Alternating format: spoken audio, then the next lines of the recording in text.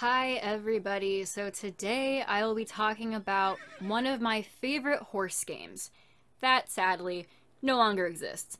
A lot of people I see saying how they wish Bella Sara could come back and how like maybe another horse game as well. But one of the horse games I never see anybody talking about is Horseland, which was literally my favorite online horse game that I ever played, besides Star Stable of course and closed in 2019. So it's been gone for quite a while, but let's get into it and talk about what it was. Some of the things I say will be just from memory because of course the game's gone. but Horseland was a online game. It was an MMO and it was also a browser game. So you didn't have to like install it and then ask for your parents' permission to like get the game to work. Like you could just play online if you wanted to at any given time. But basically, Horseland was a game where you, of course, took care of horses, trained horses, showed horses in shows, and ride them around. Take care of your horses, breed horses. You get the vibe. Like, that's how most horse games are. But I really liked Horseland because in this game, it was also not 3D, it was 2D. There was some 3D options to use, but for the most part, it was a 2D game and you could ride around the world. I like to imagine that I was just an equestrian at a boarding school and I was riding around the world of Horseland to have friends and because you could have friends on there, you could talk to people and it was like really fun.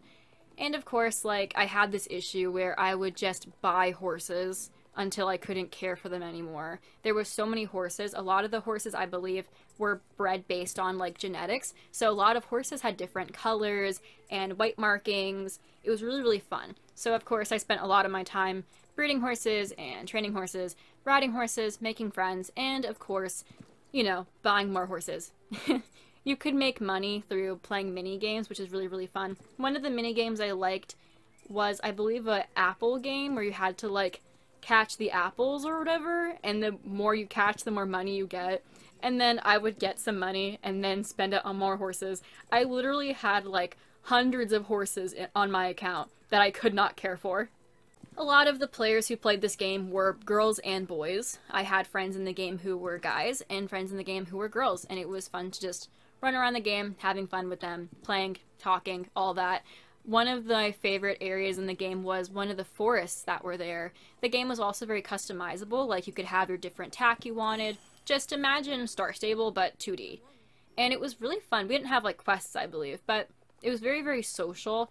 And it was great because you could just, you had your own profile and all that. I just think of it as like imagine Furry Paws or like that horse game with a W in it you know? But you could actually ride around the horses and talk to people. Like Webkinz, but horses. That's kind of how I always like thought about it. But a lot of people when they hear Horseland, they think, isn't that a, you know, a cartoon? Yes, it was. In Horseland, you know, it's a game, of course, but in 2006, they made an animated cartoon series based off of the game.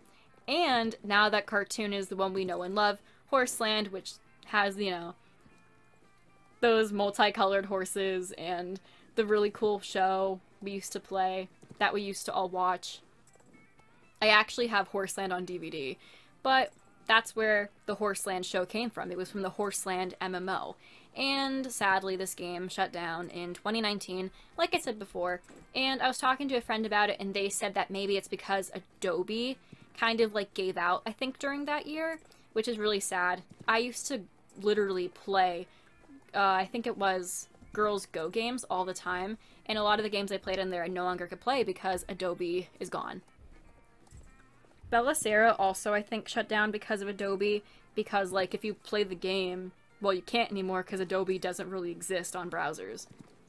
So Adobe really just got rid of so many different games we had. Like, we had a lot of online browser games. And what's sad though is that a lot of people who used browser games were kids who, and adults, who weren't able to play 3D games or buy games to play on their computer. Browser games are free. Don't get me wrong though, you had to pay for Horseland if you wanted a premium membership, which I never was able to get. But you were able to like unlock exclusive features in the game. You could own horses, of course, but you could board horses through having a boarding stable, and players could pay you to keep, you know, their horses at your place. You were able to buy clothing and tack, and of course, ride your horses around and chat with other people. And there also was, like I said before, 3D parts of the game. Um, I remember there was jumping, which I always failed. but of course, there was a microtransaction model where you could buy coins, and I think that's also what could have caused them to shut down, maybe. Because I know people were upset over this because this wasn't really how Horseland was, you know? Like, this was Horseland when I played it, but the game started in 20. Not even 2000, it started in 1994. It was way different back then. And the revamped game, a lot of people didn't really like, apparently. So people stopped playing for a while. I know, like, old players, it's kind of like with Star Stable. Old players get mad, they quit.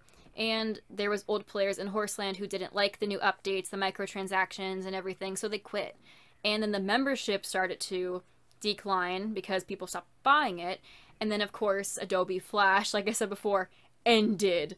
So a lot of the game became non functional, which I didn't even realize until recently. And then no official updates for the game, like towards the end of 2016, kind of started. You know, we didn't really get much updates. So in 2016 is when I I think also was quitting the game because I was like, I don't really have to play Horseland anymore because I have Star Rider, of course, on Star Stable. But the updates for Horseland started to go away, and I think the last updates were in 2016. But then two years later, in 2018, I think they announced the game would shut down. And they were supposed to shut down, I think, in January of 2019, but then they ended up shutting down in April instead. So, sadly, the game is gone. There was also like a Horseland Junior option, which I have no experience playing. I think Junior was just for players who were under 13. So basically, if you're a kid playing Horseland Junior, then you weren't really able to send messages or use the chat option. Only like teenagers could. And you best believe the teenage chat on Horseland went wild. Like a lot of you guys complain about global chat. I know I do too. But nothing compares to the global chat on Horseland when you're hanging out in the 2D forest, um, you know, areas in the game. Because there was, I think, 12 different areas in Horseland. And I know one of the main meeting spots was like, I think a stable or like this like really fancy like water fountain. And I know the chats there were hectic. Like I remember one time I when I was a kid, I couldn't listen to Nicki Minaj. I was not able to listen to any singers that swore. And I remember I said in the game how like I can't listen to Nicki Minaj because she says swear word, you know? And then literally there was so many teenagers on that game who were like you're a baby you can't listen to nicki minaj. And then they would like make fun of the music i listened to if there was no swearing. So that was great. Um it is really funny because there would be like so many barbie stands on horseland who literally were like they literally stan nicki minaj so hard like understandable of course but the horseland players I remember if you said you like Nicki Minaj, the chat would go crazy. People were spamming like starfish, starfish, starship lyrics, um, super bass, like just spamming it into the chat. It was so funny. It was really fun. And also the chat didn't really have a filter, I think, because I remember there was like there was teenagers and kids like using their Horseland account who were just like saying crazy stuff about their day or like stuff that happened to them. It was like they couldn't get therapy, so they used Horseland to just like say everything they felt into the global chat, which was just crazy. It was wild. But there was moderators, don't get me wrong. There was moderators.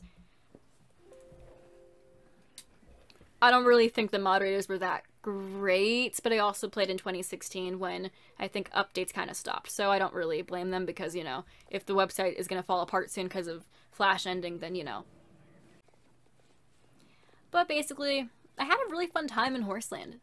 Uh, with the chat, with horses, with everything. Literally, the world was really fun. You could chat, meet with people, roleplay virtually. It was great. I didn't really have the money in the game to do much except buy horses because even if I didn't have the money to buy horses, I still would find a way to. Because there always was one player who, by the way, you could buy horses and then sell them to other people. So that was really fun. In Star Stable, we can't do that. I wish we could though. But in Horseland, literally, there would be players who would have like the worst horses, like not trained, old horses. That I think the horses in that game did pass away eventually. So there was players who had like elderly horses that were untrained and they were like, I don't want it. And they would sell it to me for like a dollar. And then I would literally have that horse and I couldn't do anything with it. literally, I was like collecting horses. Like it was crazy and I spent no money on the game because I wasn't allowed to. So I literally just had fun with whatever I was able to do in that game because I couldn't have Star Stable, so Horseland was the next best thing for me besides Bella Sara. But the shop was really fun. There was different points, shows, training, breeding horses. I don't know if I ever was able to breed horses. I think only premium players were able to do that. But a lot of people did breed horses based off of bloodline. I bought horses for their coat colors, but a lot of people did have horses simply for their genetics. Because a lot of people were into training and competing horses, so of course they made that their main thing to do. So, of course, the economy in the game was really fun because you could literally always be selling horses. Buying horses, selling horses, buying tack, buying everything you want to buy. But if you don't want stuff anymore, if you don't want your horses, you could just literally make your living off of the game by buying and selling horses or like buy breeding horses and selling them. And because it's just a game, you could just have fun living your equestrian dream digitally.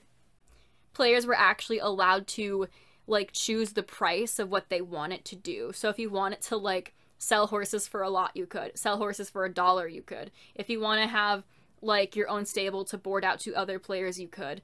Like there was always like option. You know, you could be a trainer, you could do just what you wanted to do. Like I don't even have to go into detail because like moral of story, you could do whatever you wanted. It was like a free world, you know. You want to like have a bunch of horses, you can. You want to board horses, you can. You want to be a owner of a boarding stable, you can do that. You want to train horses, breed horses, race horses, like hang out in the world, you know, sell horses, breed horses to sell them, breed horses to have the best genetics to win all the shows. You could do that. Like it was great. I'm sure I'm missing some stuff because it's been so many years since then.